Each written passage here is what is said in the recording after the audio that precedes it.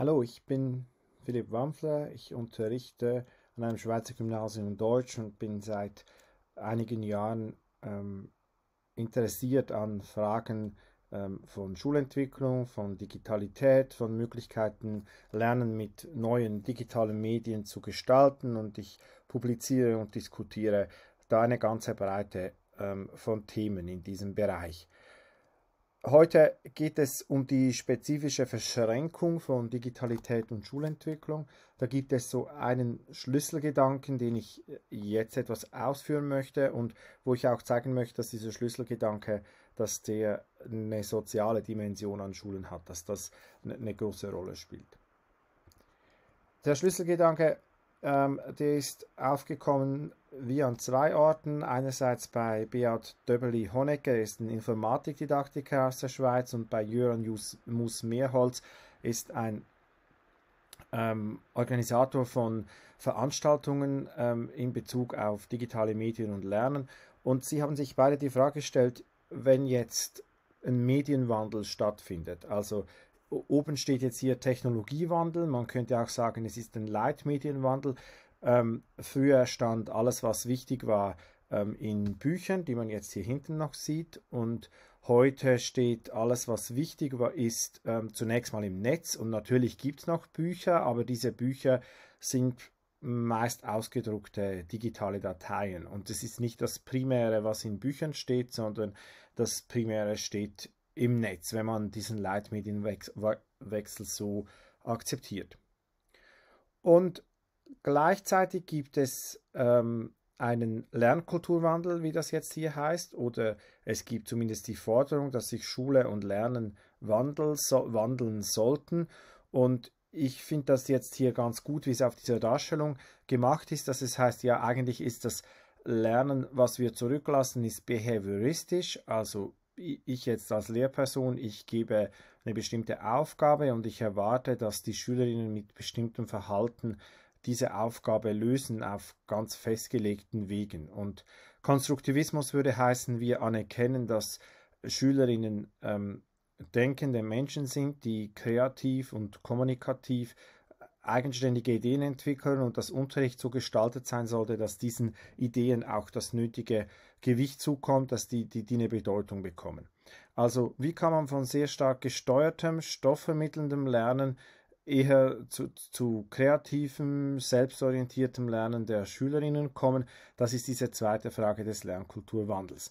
Und jetzt kann man sagen, ja, jetzt haben wir neue Medien und neue Schule und die Frage ist jetzt, wenn wir mehr diese Medien verwenden, kommt dann automatisch diese neue Schule oder wenn wir die Schule neu machen, braucht man dann automatisch neue Medien?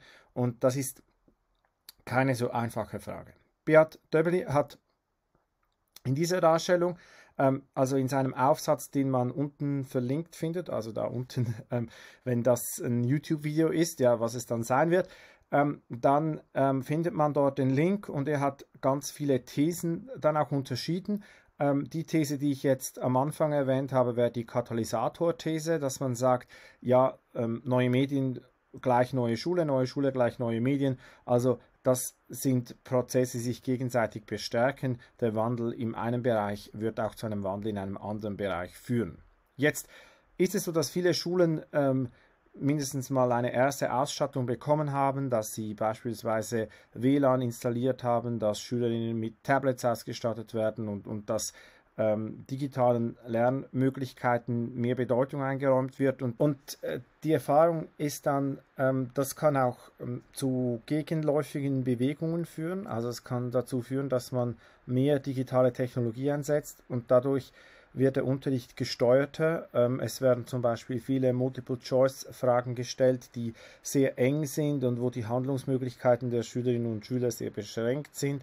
Man macht Erfahrungen, dass man Schülerinnen zu überwachen beginnt, dass man ihnen ähm, auch Möglichkeiten, die die Geräte haben, dass man die wegnimmt und versucht einzuschränken, was überhaupt möglich ist auf diesen Geräten, weil man gerade Angst hat, dass das Selbstgesteuerte dann irgendwie außer Kontrolle geraten könnte. Also wäre das dann die These, man macht zwar neue, man verwendet zwar neue Medien, aber dadurch werden eigentlich überholte Prozesse und Vorstellungen von Lernumgebungen bestärkt. Das wäre so eine Angst, die es in diesem Zusammenhang gibt. Und meine Haltung wäre die, dass eigentlich der Technologiewandel etwas sekundär sein sollte. Ich sage dem, das ist eine postdigitale Haltung.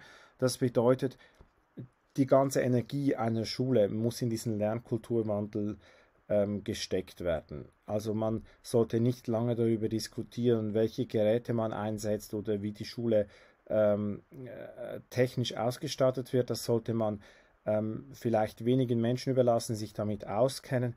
Und die ganz breite und intensive Debatte sollte sein, wie findet eigentlich bei uns gutes Lernen statt.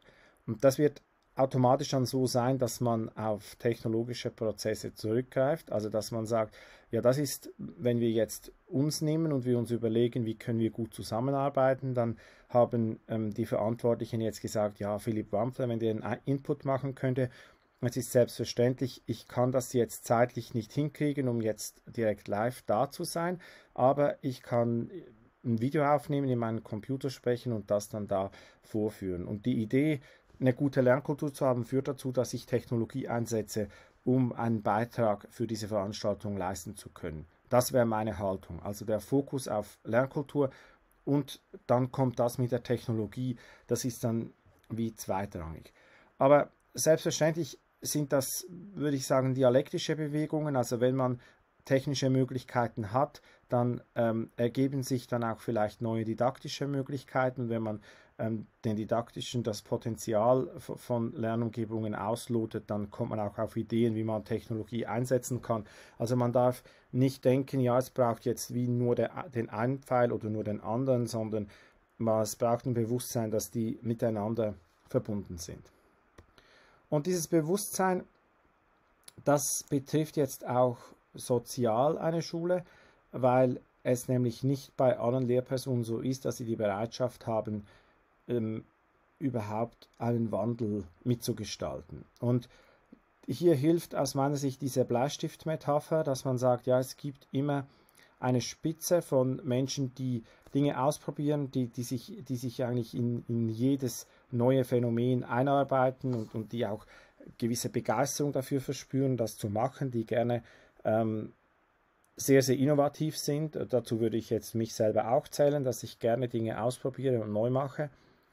Dann gibt es Scharfsinnige, das sind Menschen, die ähm, merken, was da läuft und die sich Dinge abgucken und die sehr auch ähm, offen dafür sind, etwas neu zu machen, aber sie sind jetzt nicht die Ersten, die es ausprobieren, aber sie gehen gerne mit. Dann gibt es ähm, den Schaft, das Holz und die Pointe hier ist, das heißt auf Englisch the wood und äh, das ist ein Wortspiel mit they would, das heißt die große Breite eines Kollegiums würde sich dieser Spitze und den Scharfsinnigen anschließen, wenn sie ähm, erstens die, die nötigen Anreize dafür bekommen und wenn sie auch die nötige Unterstützung haben, wenn sie wissen, wie diese Umsetzung funktioniert. Und das ist eigentlich die große Challenge, dass man jetzt diese, diese Breite von Leuten, die ähm, vielleicht ein bisschen an dem haften, was sie jetzt schon kennen und was sie schon immer so gemacht haben, wie man die dazu bringt, so einen doppelten Wandel, also einen Wandel der Lernkultur und einen Wandel der Technologie mitzugehen und auch offen dafür zu sein, den Aufwand, der ja wirklich auch damit verbunden ist, ähm, auf sich zu nehmen, um diesen Wandel zu gestalten. Und dafür braucht es, denke ich, auf beiden Seiten ähm, Beispiele und Erklärungen, warum es sich lohnt, hier ähm, in diesen Change-Prozess einzusteigen. Und etwas anstrengend ist, dass ähm, es dann noch die hinteren Teile gibt, also was jetzt überdeckt ist von meinem Bild, das ist auch ganz gut, das sind die Radierer und die Muffen, das sind ähm, ähm, Menschen, die sich irgendwie anklammern oder die ähm, versuchen, Dinge rückgängig zu machen, die eigentlich erreicht worden sind. Und da kann man sagen, das sind jetzt auch immer nur kleine Teile. Und da dann wirklich ähm, zu viel Aufwand zu betreiben, um die Leute mit ins Boot zu holen, ich denke, das ist, das ist äh, verschwendete Zeit. Also der, der Fokus sollte sein, ähm, dass jetzt die Spitze nicht ähm, die Leute verschreckt, die eigentlich bereit wären und ihnen Dinge vorzeigt, die dann eher Angst machen und verunsichern. Ähm, das ist die eine Challenge und die zweite ist, äh, den Leuten die Unterstützung zu geben, die sie brauchen, um diesen Wandel mitzugehen. Meine Erfahrung ist die, dass ein Instrument enorm gut funktioniert. Und das sind kleine Fortbildungen an Schulen selber, wo Kolleginnen und Kollegen vor Ort sagen, hey, ich habe jetzt was ausprobiert, ich habe ein Tool, ähm, das setze ich im Fremdsprachenunterricht ein. Wenn ihr mal schauen wollt, wie ich das mache, ich zeige euch das eine halbe Stunde am Mittag oder nach der Schule. Und das ist freiwillig, das ist eine Kultur, dass man das ja vielleicht alle zwei Wochen, einmal im Monat, dass man das macht, dass man sagt, wir, wir möchten gern, dass das Wissen weitergegeben wird, dass auch Leute, die zu dieser Spitze gehören oder zu den Scharfsinnigen an einer Schule, dass die vielleicht eine Bühne bekommen, um ihr Know-how weiterzugeben und dass dann die Leute, die wirklich noch Unterstützung brauchen, merken, dass jetzt nicht irgendjemand, der von außen kommt und ähm, uns irgendein Feuerwerk ähm, vorführt und dann geht die Person wieder und das Feuerwerk ist abgebrannt, sondern das sind Leute an der Schule, die unter denselben Bedingungen wie ich arbeiten, die genau wissen, was wir hier machen und die mir sagen können, so kannst du es machen und du kannst dich darauf verlassen, es funktioniert. Dann hat das einen nachhaltigen Effekt und dann kann das wirklich auch eine Schule verändern und die Bereitschaft, diesen Technologiewandel mitzugehen oder diesen Lernkulturwandel zu diskutieren, ähm, dass die, die Bereitschaft wird stark erhöht. Jetzt ist es so, dass wir ähm, im Moment, also man kann das auch zeitlich erfassen, wie das verläuft und ähm, das ist eigentlich nochmal dasselbe, diese Bleistiftmetapher. Also wir haben ähm, vorne die Innovators, das wäre die Spitze, dann haben wir die Early Adopters, das wär, wären die Scharfsinnigen, die da gern mitgehen. Und dann kommt die Early Majority und Late Majority, das ist die Mehrheit, die eher, die einen gehen dann früher einen Schritt weiter und die anderen später. Und dann gibt es einen Routenteil, das sind die, die dann mit Verspätung auch noch irgendwie ankommen werden, also es sind die Leute, die dann irgendwie ähm, 2012 noch gesagt haben, ich habe kein Handy, ich werde nie ein Handy haben und irgendwann haben sie dann doch ein Handy, einfach mit ähm, 15 Jahren Verspätung. Ähm, da, da, die Leute gibt es immer in Bezug auf Technologie und Kultur, ähm, die das nicht wollen oder, oder da zu spät kommen, denen würde ich jetzt auch nicht so viel Beachtung schenken. Was jetzt hier steht, ist, dass es zwei größere Sprünge gibt. Den ersten haben wir sicher schon überwunden. Also wir sind sicher da, wo die Early Adopters an allen Schulen bereit sind, digitale Technologie einzusetzen und sich auf das einzulassen, was Digitalität eigentlich bedeutet. Und jetzt kommt der nächste Sprung, der ein bisschen erschreckender ist, dass man sagt, ja, wenn das jetzt wirklich in die Breite gehen sollte, dann muss man jetzt einen Teil der Mehrheit erreichen können. Und da ähm, merkt man auch, da gibt es viele Widerstandsbewegungen, da gibt es dann auch noch größeren Finanzierungsbedarf. Also die Anforderungen, das zu organisieren und zu begleiten, die steigen in allen Bereichen. Nur kann man sich auch darauf verlassen, dass es doch schon recht viele Early Adopters gibt und dass auch die Bereitschaft, ähm, das irgendwie durchzuführen, dass die vorhanden ist. Und da würde ich jetzt auch den Mut haben, aber einfach mit dieser Darstellung auch zeigen, es braucht etwas Geduld, bis man dahin kommt. Ähm, ja, jetzt habe ich ähm, in der Vorbereitung einen Fehler gemacht. Jetzt werde ich das gleich noch korrigieren, damit man sieht, das muss gar nicht alles so perfekt sein. Eigentlich habe ich gedacht, mein Video wäre da unten. Jetzt ist es auch da unten. Also ähm, ein Beispiel, was ich jetzt noch anführen würde, wie die Dinge miteinander zusammenhängen, ist ähm, die Position der Lehrperson. Ähm, es ist ein schöner Satz, also er gefällt mir sehr, weil er wie zwei Dinge untermalt bei diesem Lernkulturwandel. Wenn Schülerinnen an Geräten arbeiten, das ist die technologische Seite, wenn sie Laptops haben oder Tablets, dann ist die Position, die ideale Position der Lehrperson ist hinter den Schülerinnen, weil sie dann sieht, was die Schülerin und der, oder der Schüler am Gerät machen und sie dabei unterstützen kann. Und gleichzeitig ist das hinter jemandem stehen natürlich nochmals ähm, etwas, was auch so eine gewisse Coaching-Funktion impliziert und nicht vor ihnen stehen, was auch ein bisschen Abstand nimmt von so einem Vortragen, Wissensvermitteln, sondern was auch zeigt, es gibt ganz, ganz grundsätzlich eine andere Rolle. Und man kann es auch nachverfolgen, also wenn Sie sich überlegen, dass Schülerinnen und Schüler alle am Laptop arbeiten, in einer Klasse oder am Tablet, dann steht man vor so einer Klasse und dann sind 30 Menschen gucken auf einen Bildschirm. Und das ist jetzt an Unis ist das ja absolut üblich und das verunsichert Menschen. Das ist auch keine angenehme Situation, so zu unterrichten. Und dann zu sagen, ja, dann gehen wir so und versuchen wir uns hinter die Schülerinnen zu stellen und ihnen Aufgaben zu geben, wo wir nicht an sie heranreden, während sie eigentlich auf einen Bildschirm gucken, sondern versuchen das hinter ihnen zu machen. Und das, wenn man das jetzt ernst nimmt, jetzt ähm, ja, ähm, braucht ein bisschen Agilität. Jetzt bin ich da plötzlich hier. So, ähm, das braucht einerseits eine neue Sitzordnung, also Leute, die Erfahrung haben, sagen, ideal sind eigentlich sowas wie Gruppentische, wo die Schülerinnen sich zusammensetzen und eigentlich auch so im Modus dieser Zusammenarbeit sind, wenn sie mit digitalen Geräten arbeiten und ich kann dann als Lehrperson um sie herum gehen.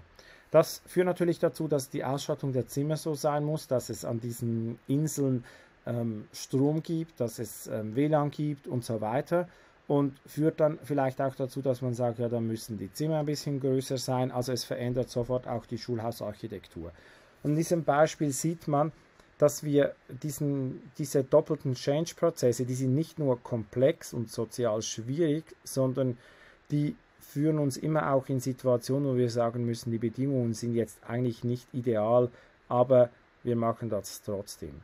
Also die ähm, Schulhausarchitektur ist nichts, was wir jetzt auf dem Reißbrett entwerfen können, sondern wir arbeiten in Gebäuden, die schon ähm, gebaut sind und mit denen wir uns abfinden müssen. Und die Ausstattung der Zimmer ist auch etwas, was wir mittelfristig nicht beeinflussen können. Also da gibt es nicht ideale Bedingungen. Die Sitzordnung ist vielleicht etwas, wo wir Einfluss darauf haben. Und das zu sehen, dass der, der Wandel ähm, auch von Dingen gehemmt wird, die wir gar nicht beeinflussen können, das kann auch etwas entlasten. Also dass wir sagen können, ich bin jetzt nicht die Person, die alles jetzt hier ändern kann, sondern die einfach im Rahmen des Möglichen ähm, gewisse Veränderungen anstoßen kann, die auch einfach länger brauchen. Das sind Dinge, die wir privat, können wir schon sagen, ich mache das jetzt alles nur noch digital oder ich, ich habe jetzt umgestellt und, und ähm, habe jetzt papierloses Büro und so weiter. Das geht privat ganz einfach, aber in der Schule sind da einfach Voraussetzungen, die wir alle nicht ähm, ändern können und wo wir auch nicht denken sollten, dass wir das können, weil das sonst zu einem Burnout und zu viel Frustration führt, weil das einfach nicht in unserer Kontrolle ist.